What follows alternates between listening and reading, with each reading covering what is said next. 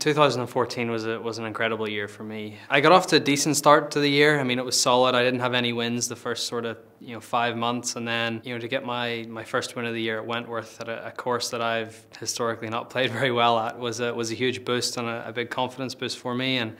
Uh, set me up for the summer that I that I had. I think in golf, you know, once you get on a roll and you have some momentum, you just try and ride it as as as long as you possibly can. And you know, I was able to to hold on to it the whole way throughout the summer and pick up a couple of majors along the way. I didn't expect to have that summer. You're always hoping that you're going to have a successful year, but you know you never expect to win you know two majors in a row or you never you know to play the golf that I did. You you hope you can, but um, it was just nice to be able to produce it when I needed it.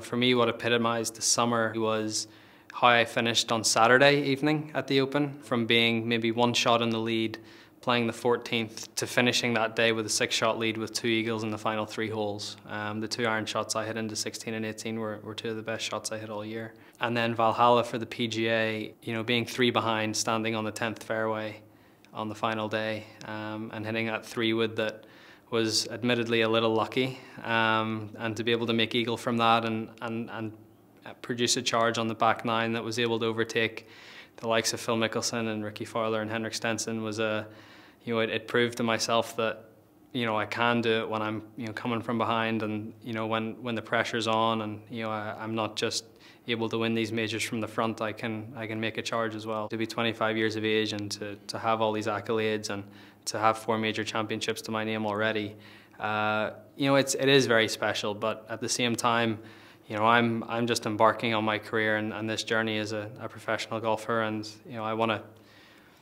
maximize it as much as I possibly can and, and, and try and win even more. So, uh, 14 was an absolutely incredible year, but you know, hopefully, I have you know more years like that in me as well.